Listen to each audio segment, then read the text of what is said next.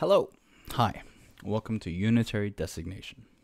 Today I wanted to make a video about something that is very um, important today. It's very much in the news and um, the threat of it looms rather largely for our demo- for our democracy and for our for all our democracies. I wanted to talk about right wing extremism and um, I should be I should specify that I'm not talking about conservative uh, voters or people who have a you know a, a right wing mindset. Like there's a place, as I've said in my earlier videos, there's a place on the political spectrum for you know many voices, but uh, extremism is not that. It's different. It's something else. And um, why talk about this? Well, it's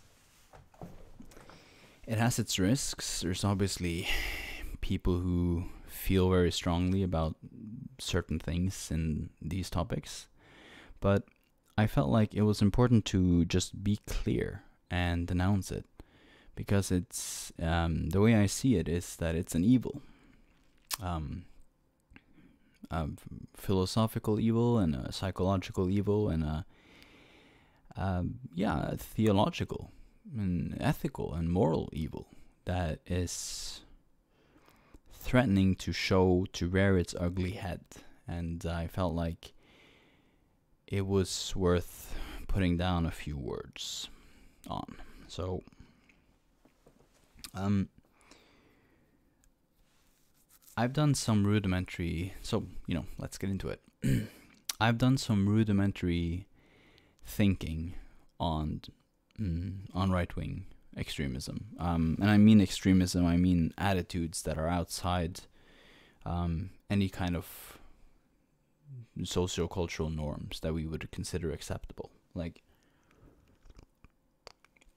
the original, my starting position on this is that um, we should be tolerant for opinions and um, interpretations and you know points of view that are not our own.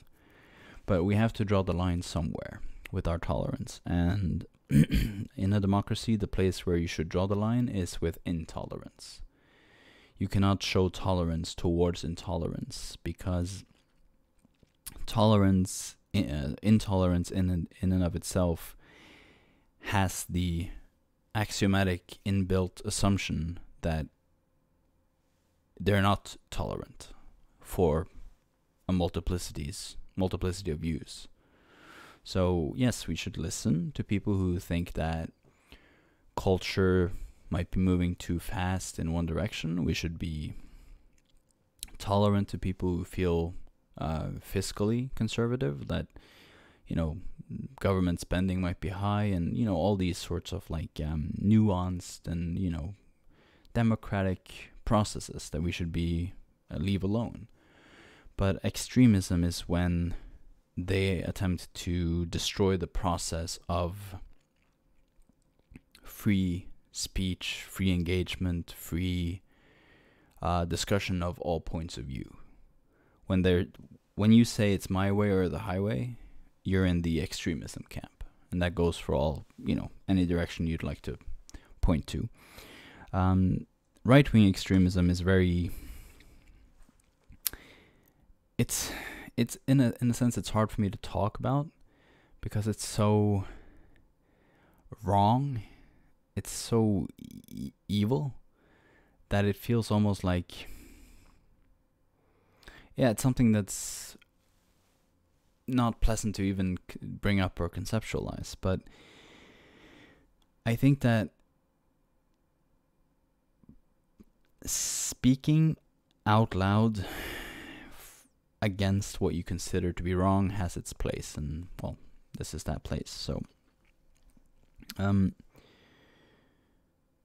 yeah so the central values that i feel and that i sort of live my life according to are um principles of love and unity and working together and seeing everything as sort of seeing everything as trying to fulfill its highest potential.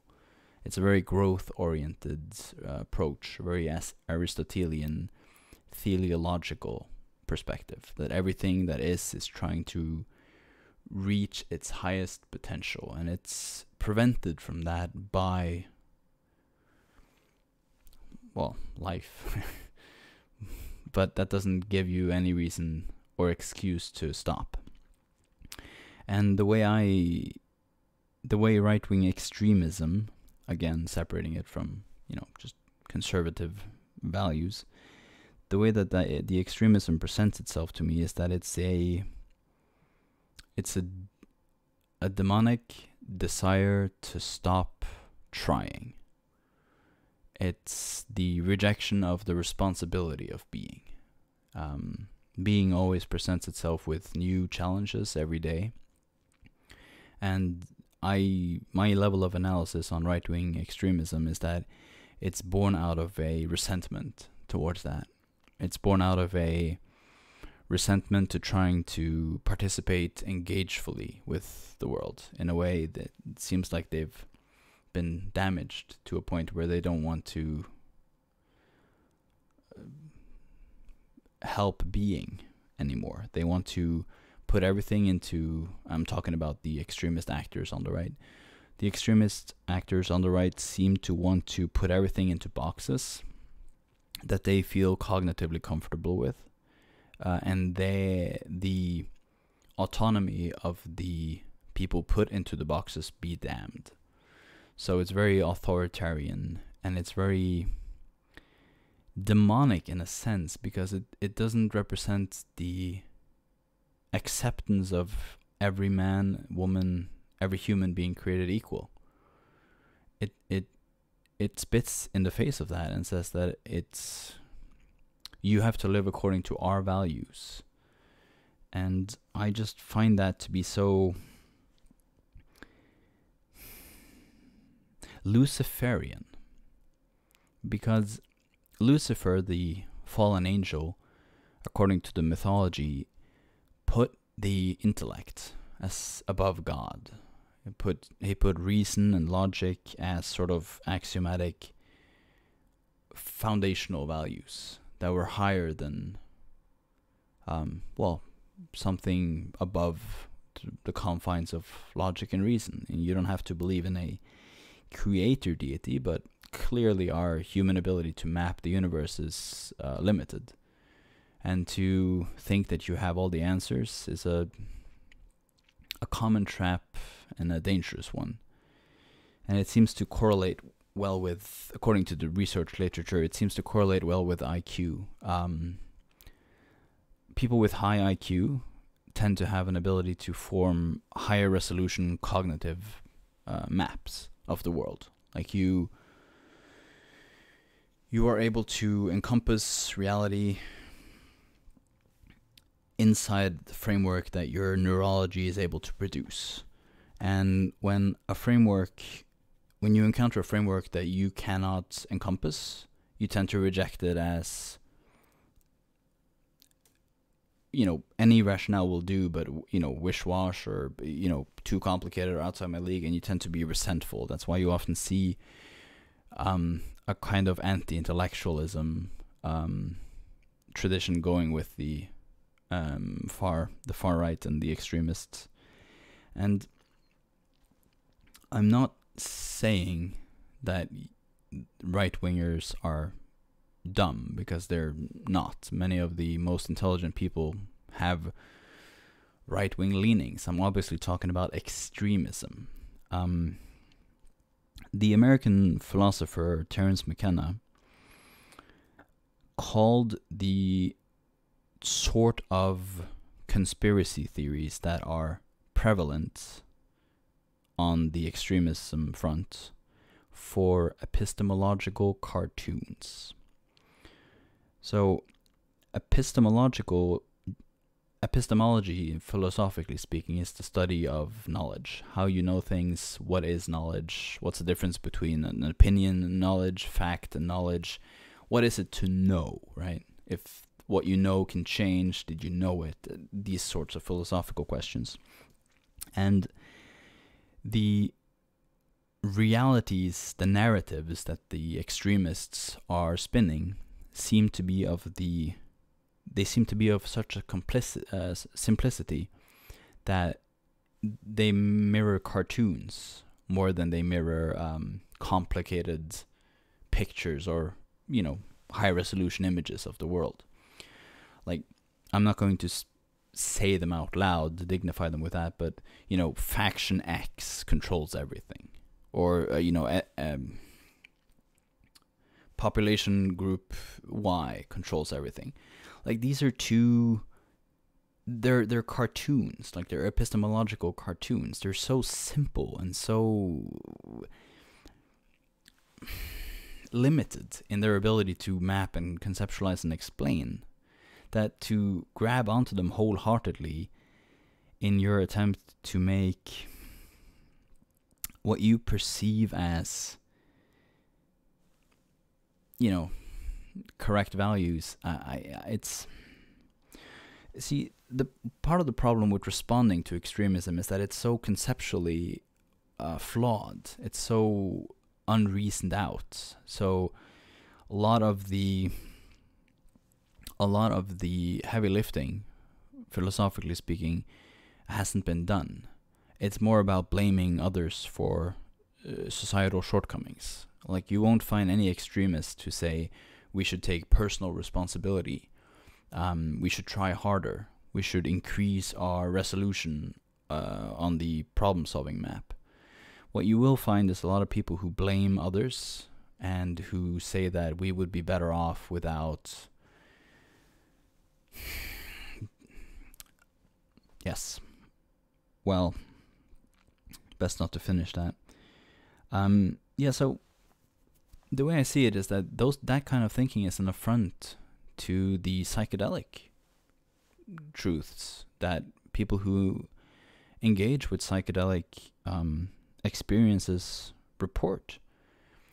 And spiritual truths that you know all is one and that you know um, love yourself as you love your neighbor love your neighbor as you love yourself um, surrender selflessness. Now now now right? It's it's an affront to all of that. And it spits in the face of this unity this deep sense of longing for unity that humans have. And that can go too far obviously. And we all have separate homes and we all have you know our cars and all that. I'm obviously not talking about a complete derision of all borders but the extremists on the right side of the spectrum far far far right are so obsessed with borders. And that may be due to developmental reasons that may be due to psychological trauma that may be due to low IQ and extreme personality dispositions but the point is it's it's it's wrong. And ironically the the biggest strength of humanity is diversity. Like we're a very diverse and ad- adaptable species.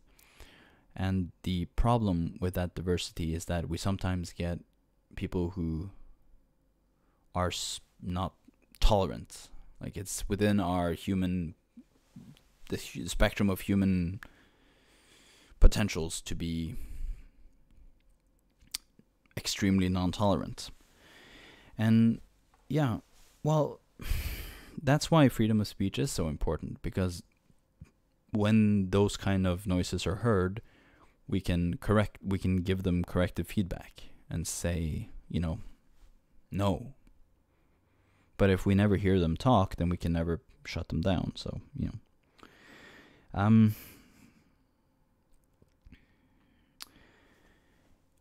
specifics about right wing extremism. Well, it seems to be paired with a metaphysical uh, framework. Okay, so here's an here's a note. I'm for diversity of religion. I'm for diversity in general. I'm very much for every country working together, and I'm also very for a um, cooperative approach to existence. I think hum- humanity has to come together to confront the future. But that doesn't mean that we should make away with borders. And it also doesn't mean that, you know, I'm not advocating for any social or economic system. I'm for freedom of religion. I'm I de- I defend everyone's right to believe what they feel is the right way to God or to the transcendent or just to ethics. Um, you know, I don't have to mention any specific religions. I'm I'm pretty much for all of them. It bothers me the areas where certain religions promote intolerance, but you know that's not my place to uh, comment. What worries me is that a certain religion, Christianity, that I think is very a very sophisticated religion, a very theologically deep religion, and a, um, a religion whose narratives I often use in my level of analysis on the world. You know, the whole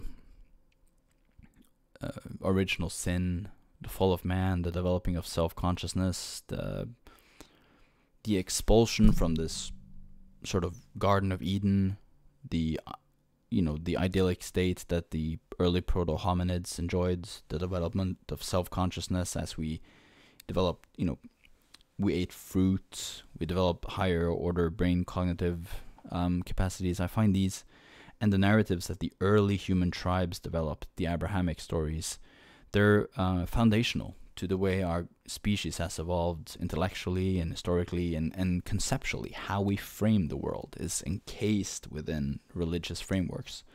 So I, I find that very interesting as a field of study. But the extremists on the right tend to use a perverted and an unsophisticated form of Christianity as a sort of sword. And they also tend to play the victim and use and justify their use of the sword as a yeah, as a response to, you know, being victims. So an example would be you can't get a medical procedure because it interferes with what I think should be right for you. And that's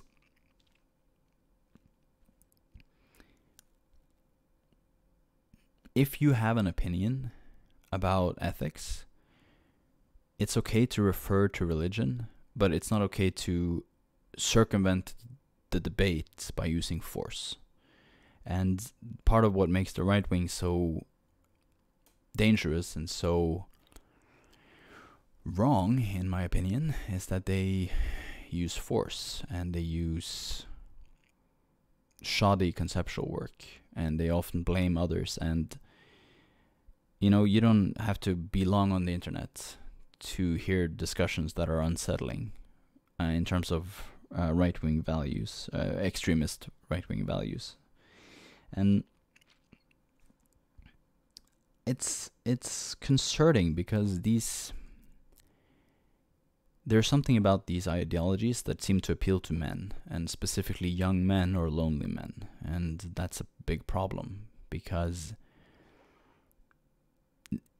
as young men drop out of traditional institutions like academics or school and suffer unemployment and other forms of personal hardships, they tend to gravitate towards these all encompassing pathologies of order, these sort of totalitarian styles of thinking. Everything has simple, identifiable um, causes. My um, shortcomings, my hardship is not my own doing or something that is on me to solve. And the way to bring about the required ethical change is through, you know, dysfunctional political activation. It's it's very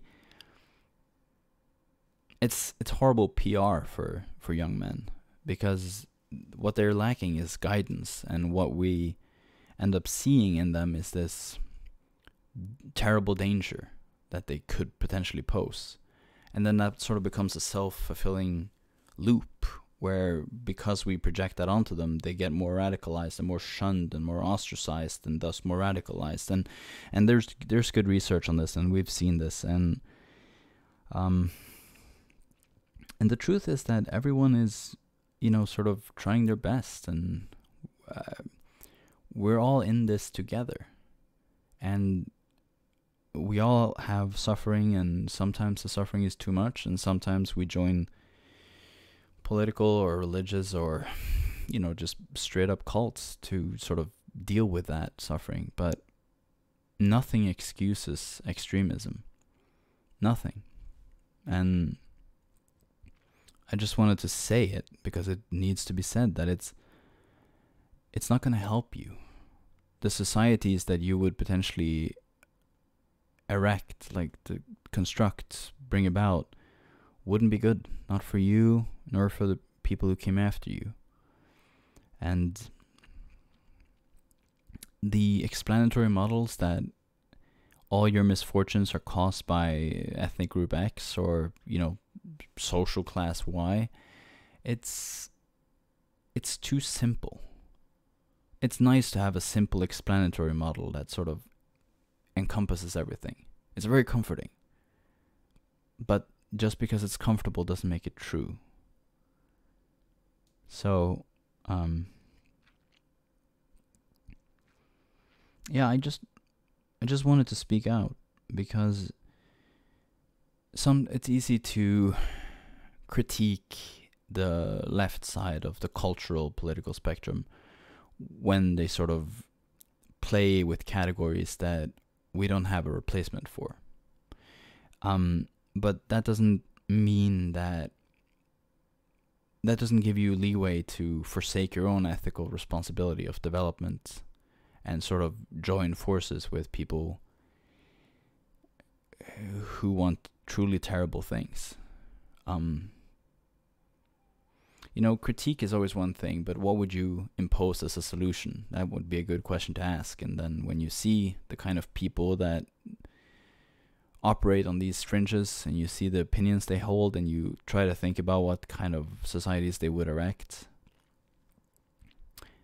it's very wrong.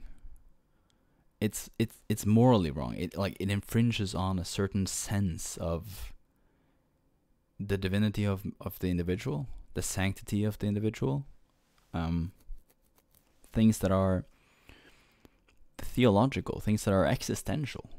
Um that within every man is a sense of the ultimate, sense of the transcendent, uh, and that, yeah,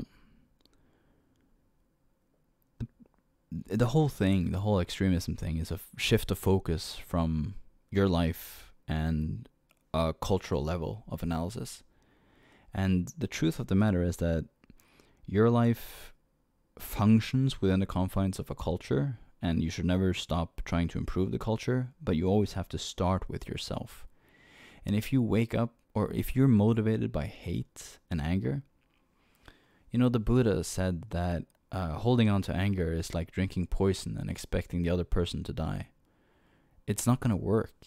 And it, it might fuel you in the short term, but it'll eat your soul up in a way that's not pretty, and you won't recognize who you become. And it takes less than you'd think to get there. There's more. The Jungian shadow is large within all of us, and you know it's it's easier to go down that road, the Luciferian ego, intellectual road of looking at IQ or you know whatever kind of statistics you want to bring out, and it's easy to forget the ethical it's easy to forget the forget the love. I mean, the end of all wisdom is love, love, love. And philosophy is the pursuit of wisdom. And there's not a thing in the world that isn't motivated to grow and to flourish and to express themselves and to wish for to wish for the destruction of that or the halting of other people's growth because you can't keep up it's it's not a road you want to go down resentment and and jealousy and spite is not It's wrong. Full stop. It's just wrong. Other there the famine mindset of that is so prevalent and it's so juvenile and it's so unsophisticated. Other people are doing well, so that reflects poorly on me? No. No, you responding poorly to other people's success reflects poorly on you. That's the, uh, to use the terminology of the far right, that's the uh, beta move, is to react like a bitch and complain that other people are successful. Good for them. They're successful. That doesn't reduce your chances to be. I mean, more successful people means more people have time, effort, and energy to promote your work. And famine mindset, man, it's it's dismal. So yeah, you don't have to like it, this doesn't have to define be defined as an intellectual issue, but it does have to be defined as at least an ethical one. And if you won't do it for the love of being or for the love of yourself or your fellow man. You should do it because it's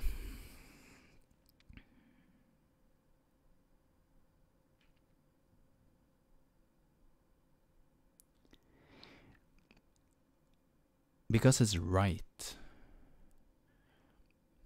Because we are all in this together.